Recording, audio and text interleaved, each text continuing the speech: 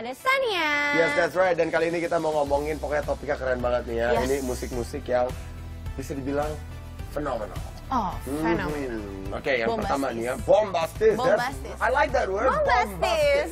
yes. Jadi yang pertama nih ada Adele nih ya dengan lagunya Hello. Kenapa ini Hello, bisa dibilang it's bom? me. Hi. Hi, it's Nice to me. meet you. It's me.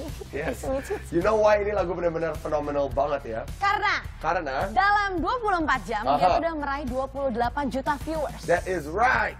Dan berhubung ini hari Valentine, Yes. kita ngomongin all these love songs ya, maupun oh, sedih atau walaupun maupun ya happy. walaupun patah hati gitu ya. Yes, that's right. Oke, itu 28 juta dalam 24, 24 jam jam. dan menggeser video klip Taylor Swift yang Bad Blood. Bad Blood. Wow, keren banget ya. Soalnya emang liriknya nancep banget Enak sih lagunya? Buat anak muda kayak gue ya. Kalau lu kan nggak tahu nih udah anak muda apa udah gimana gitu kan. Kalau buat anak muda kayak gue, soalnya itu liriknya nancep banget. Hello, it's me. Hello, it's me. Really? Dan kadang-kadang kalau kata temen gue, Justru anak abis muda kayak lu, emang lu pernah ngalamin kayak gitu? Ya nggak tahu, kan kalau misalnya anak muda, anak ABG ABG kayak gue gitu kan masih kayak masa-masa labil pengen galau-galau gimana gitu Right, kan. Right, right. Jadi kadang-kadang kalau kata temen gue, abis dengerin lagunya si Adele ini, ngeliat liriknya, jadi kayak pengen telepon mantannya gimana gitu gak sih? Lu pernah kayak gitu gak? Enggak, Gara-gara kalau gue sih enggak, kalau gue enggak. Temen lu yang kayak gitu? Temen gue banyaknya kayak gitu. Really? Coba ya, kalian lagi nonton, gue puterin deh lagunya nih ya, Hello It's Me. Coba Kalian aja. pengen gak ya telepon mantan kalian? If you, kalau kalian pengen, let me know on Twitter ya, ke @breakoutnow. I'm curious, check it out. Oke, Oke. sekarang kita mau ngomongin Sam Smith, lagunya Sam Stay Smith. With Me. Stay with me. I love that song so much. Yes, Yes, benar. itu lagu pun Ceritanya tentang juga kayak apa sih? Ditinggalin ya istilahnya sama Ditinggalin. orang yang sama sehari-hari. Terus ibaratnya dia tuh kayak nangis dan pengen ngomong kayak, hey, stay you with me. Kalau gue sih dinyanyiin sama Sam Smith kayak ya udah deh nggak jadi deh kayaknya gue pulang aja deh sama Sam Smith ya nggak apa-apa. Lu suka Sam Smith? Ya suka dong. Itu bagus? Bagus. Ganteng? Ganteng. Oh. Suaranya bikin ganteng juga, orangnya juga ganteng gitu kan. Right, right, right. Karismanya karisma. charismatic. Tapi Sam Smith tuh emang luar biasa banget ya. Dia punya uh, range vokal tuh yang benar-benar lebar banget dan dia tuh bisa nyanyi hampir lagu apa pun. Wah, yes. Dia tuh baca novel aja bisa jadi lagu. Like that's how Kayak good udah kalau ngomong is. aja udah ada nadanya gitu ya. Yeah. Dan lagu ini nih ya sempat nomor satu di UK Single Charts Wow. Dan of ini course. dia memenangkan Best Male Artist di MTV Video Music Awards untuk video klipnya yang ini yang Stay with me. Gak heran sih. Mau lihat gak sih? Sekarang keren banget. Coba kita lihat. Check it out. We are back. Yes, we are. Dan sekarang mau ngomongin siapa nih, San? Terserah kamu deh. Eh, penyanyi wanita terfavorit aku deh kayaknya, Oh. boy. Siapa lagi? Taylor Swift lah. Taylor Swift? Taylor Swift. Yes, itu juga my favorite sih, Taylor Iya. Swift. Keren. Kayaknya semua orang favoritnya Taylor Swift, tapi nggak su- nggak mungkin nggak suka sih. kayaknya. Karena dia tuh the number one woman in the world right now. Ya pastilah. Kayaknya ngeliatnya udah cantik, suaranya bagus, main gitar oke gitu kan. Cakep. Tapi anyway ya, Taylor Swift ini ya siap. Kalau kita ngomongin Valentine Hah, song, hmm. mau lagu dari lagu cinta, lagu patah hati, Taylor Swift ini memang yang bisa megang pialanya itu sih. Iya. Karena lagunya dia juga kayak apa sih lirik-liriknya kayak nancep gitu. Kayak nggak banyak basa-basi, ya nggak sih? Yes, langsung. Langsung. To the point. Apalagi yang judulnya Blank Space. Oh iya, itu viewersnya sampai satu miliar loh. Satu Di miliar. YouTube dan itu menjadi the fourth top song di tahun 2015. Wow. Keren banget ya. Keren banget. Eh kita puterin aja buat kalian yang blank space dan setelah itu kita mau puterin yang mana? Adam Levine yuk yang Adam Levine ya. Locked Lock Away. Eh, nyanyi Oh, oke, nyanyi coba coba coba. Bisa kan? Bisa dong. Yang lock coba. Di sini oke? Coba ya. Eh, If I got locked away, we lost it all today. Tell me honestly, Would you still love me the and if I showed you my flaws, and if I couldn't be strong, tell me honestly, Would you still love me the same? still,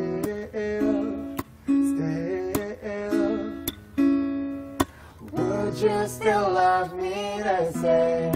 Still, still, yeah, yeah. Would you still love me the same? nice. This is blank space. For Shawn Mendes with Stitches.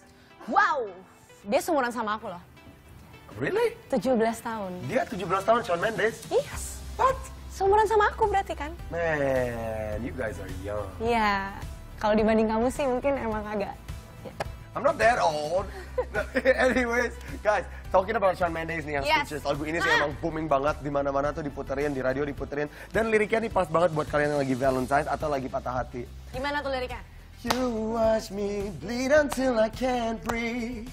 And then, pokoknya lu tuh ngeliatin gua berdarah sampai gua itu nggak bisa nafas lagi. That's like so deep, man. Iya. Ya nggak sih? Agak agak berlebih tapi emang sebenarnya nancep ya. Nancep. Nancep banget. Nancep ya kan? Kalau di gue enggak, soalnya kan gue nggak pernah patah hati. Never? Never. Wow, wow. Kayak gue yang matahin hati orang deh, bukan patah hati. Ooh, I'm sorry. Wow. Tapi anyways, ya next up deh kita mau ngomongin Megan Trainor sama John Yes. Legend yang lagunya Like I'm Gonna Lose You. Oh. Biasanya kalau kita ngedengerin Megan Trainor, Yes. itu Upbeat, biasanya upbeat. about that bass, about that bass. No Lips are moving. Yeah, yeah. Ya, benar-benar. Pokoknya semuanya yang upbeat, yang bikin kita semangat. Tiba-tiba dia diduetin sama John Legend, lagunya slow, mellow, tapi cocok banget loh. Iya bener. Dua-duanya suaranya sama-sama bagus. Yes. Terus kayak pas kayak perpaduan suaranya udah kayak martabak kayak perpaduannya. Tapi enak perpaduan banget ya? suaranya enak banget kalau didengerin. Ih enak banget sih. I wanna play it for you guys right now. Video klipnya aku suka banget sih. Hujan-hujanan. Hmm. Megannya lagi ngeliat di kaca. John Legendnya lagi nyanyi di hujan. Galau, galau abis. Galau, but it's really nice. Langsung kita puterin aja ya. Check it out. Masih barengan gue Boy Will and Sania from JKT48. Eh, ngomong-ngomong JKT48, nyanyi dong buat gue. Lu mau nyanyi lagu apa nih? Gua- Yang JKT banget. I want you, I need you, I love you. Wota, wota. Di dalam benakku bisa nggak? Keras berbunyi irama musiku Heavy rotation Ya, ya, Aku suka lagu itu kan Heavy rotation Heavy rotation. Yes, Wah, keren banget. eja, eja. Itu artinya apa sih maksudnya lagunya nggak ngerti gue. Itu sama dengan Valentine Temanya Why? kali ini kan? Karena itu kalau misalnya artinya kayak liriknya jatuh cinta Terus? Tapi tuh sampai udah nggak bisa Perasaannya tuh kayak popcorn You know? What do you mean? Popcorn kalau misalnya kalau misalnya lagi popcorn bikin popcorn Nih, kan kayak meletup, meletup. Ya. Kayak makin lama tuh makin bertambah, makin bertambah, makin cinta istilahnya. Oh begitu. Heavy rotation. Nice, nice, nice, nice, nice, nice. Dance move-nya juga lucu sih itu ya. Yes. Dance move-nya. Kamu, kamu suka? bisa, kamu bisa. Nggak bisa lah, Ya. apa? Aku cuma wota, wota, wota, Nggak bisa, wota. beda, That's beda. my dance move. Tapi anyway, sekarang kita ngomongin One Direction yuk. Oke, One Berhubung Direction. kita tadi ngomongin Hmm. JKT48 kan, girl band, let's talk about a Yes. boy band. Oke, band. One Direction ini ada lagu yang aku paling suka banget, cocok buat Valentine's. Buat kalian yang mungkin lagi galau-galauan or whatever, dengerin lagu Night Changes Night Chinese. by One Direction. Hah? Itu lagu video klipnya enak banget ditonton. Maksudnya it's Uh-uh. very soothing, nyantai. Dan buat Valentine cocok banget. Kayak itu lagu sebelum Zayn keluar ya? Sebelum Zayn keluar. Zayn keluar, sebelum Yes. persis. Yes. Kayak gimana ya? Mau lihat nggak? Mau lihat. Eh tapi sebelumnya aku mau kasih nih gara-gara banyak yang request dulu nih sebelum Yes. aku lupa di Twitter ada yang minta Coldplay A Sky Full of Stars. So Oh. here's for you. After that kita ada Oke, Yes. itu tadi lagunya Jazz Glynn yang Hold My Hand ya San. Yes. Enak banget ya sih? Ya, enak lah. Itu salah satu Itu- lagu Jazz Glynn yang aku paling suka. Ceritanya tentang apa sih, Boy? Jadi ceritanya kayak Darling Hold My Hand, maksudnya Oh, pegang tangan aku aja, gitu percaya ya. dengan Saling aku. mencintai. Yes, jangan lepasin aku dan aku akan menjaga kamu seumur hidup. Wow. It's really nice So ya. Very sweet. Ada juga nih, ini sebenarnya aneh untuk dibilang lagu Valentine ya. Kenapa? Siapa? Ada Lagu Charlie apa? XCX.